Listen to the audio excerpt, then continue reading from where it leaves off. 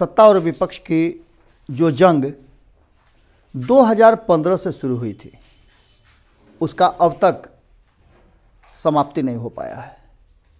सत्ता और विपक्ष की लड़ाई में पहले आपने देखा होगा कि किस तरह से नीतीश कुमार और लालू प्रसाद के खिलाफ भारतीय जनता पार्टी आग उगलती थी।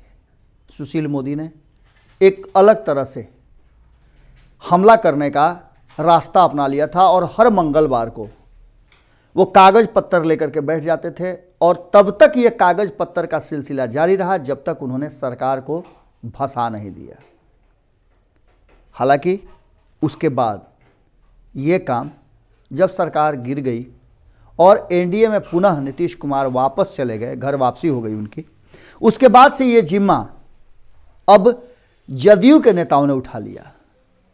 सुशील मोदी यदा कदा छोटी छोटी टिप्पणियाँ करके लालू प्रसाद और तेजस्वी यादव। हालाँकि लालू प्रसाद पर ही वो बोलते थे, तेजस्वी यादव पे कम बोलते थे। लेकिन जदयू के दो नेताओं ने, नीरज कुमार और संजय सिंह ने, पूरी तरह से मोर्चाबंदी कर दी। वहीं अजय आलोक भी लगातार हमला करते रहे। इस हमले में यदा कदा राजीव रंजन भी कूद जाया करते थे, जो कि जदयू के प्रवक्ता थे और जदयू के प्रवक्ताओं ने यह मोर्चा अब तक जारी रखा है। लेकिन बीच में स्थितियाँ थोड़ी 19-20 होती रही। आरजेडी के तरफ़ से हमला करने वालों में तेजस्वी यादव सबसे बड़े योद्धा थे। उसके बाद यदा कदा हमला करने में नज़र आते थे भाई वीरेंद्र, शक्ति सिंह यादव और मृत्युंजय तिवारी। इन सभी ने लगातार जो है, एक दूसरे की कमियाँ निकालने और सरकार पर हमला करने का बीड़ा उठा रखा था। लेकिन अब ये लड़ाई नेक्स्ट लेवल पे चली गई है। जब 2020 के परिणाम आए, उसके बाद से तो नीतीश कुमार पर जम करके आरजेडी हमलावर हो गई है। तेजस्वी यादव ने खुद मोर्चा संभाला, लेकिन बीच में 10-15 दिनों का एक ऐसा फ़ेज़ गुजरा जिसमें हमलों का जो दौर था, वो थोड़ा कमज़ोर पड़ा। लेकिन ये रुका नहीं। जदयू की तरफ़ से लगातार हमले हो रहे थे और अंततः तेजस्वी यादव को फिर से बिड़ा उठाना पड़ा और अब तो उन्होंने एक महीने का फाइनल अल्टीमेटम नीतीश कुमार को दे दिया है। तेजस्वी यादव ने कल कोर कमेटी की बैठक की।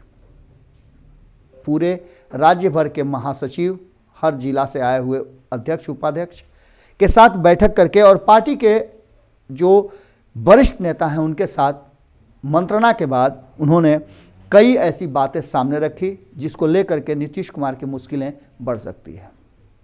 तेजस्वी यादव ने नीतीश कुमार को एक महीने का अल्टीमेटम दिया और साफ़ तौर पे कह दिया कि अगर एक महीना में स्थिति नहीं सुधरती है तो नीतीश कुमार की शिकायत वो सीधे राष्ट्रपति से करेंगे।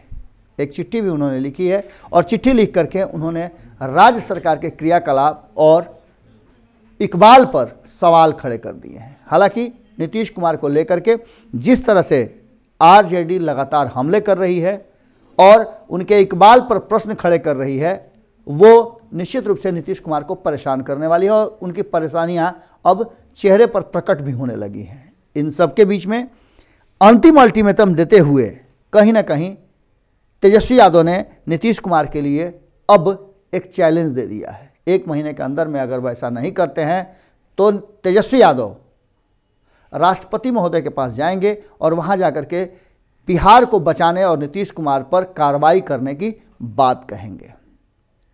ये पहली बार होगा जब इस तरह का कोई भी एक्शन और रिएक्शन नीतीश कुमार के ऊपर किया जाएगा। इसके साथ ही सीधे तौर पे तेजस्वी यादव ने कहा है कि केंद्र सरकार और राष्ट्रपति पहल करते हुए अच्छे और नए अधिकारियों की नियुक्ति बिहार में करें, जिससे कि कहीं ना कहीं बिहार में सुशासन नज़र आए। पुराने और हाई प्रोफ़ाइल सरकार के प्रायोजित कांड हो रहे हैं।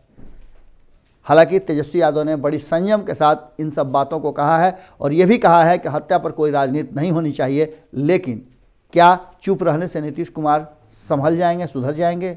लगातार हत्याओं का दौर जारी है और अपराधी सक्रिय हैं।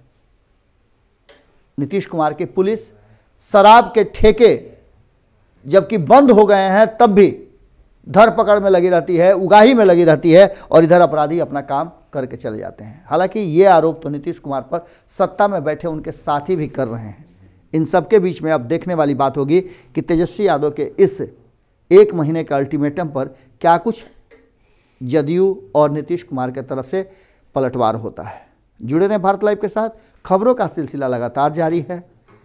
यदि आप हमारा सहयोग करना चाहते हैं तो निश्चित रूप से आप देख रहे होंगे कि नीचे में एक यूपीआई नंबर दिया हुआ है।